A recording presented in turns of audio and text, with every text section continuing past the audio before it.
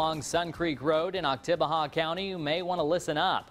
The road will be closed as crews work to replace two bridges on the road. District 3 Supervisor Marvelle Howard says drivers will have to find alternate routes until the bridges are fully repaired. County leaders say the bridges are old and outdated and haven't been repaired in more than four decades. Howard says it'll take anywhere between four to six months for the bridges to be repaired and the street to be reopened.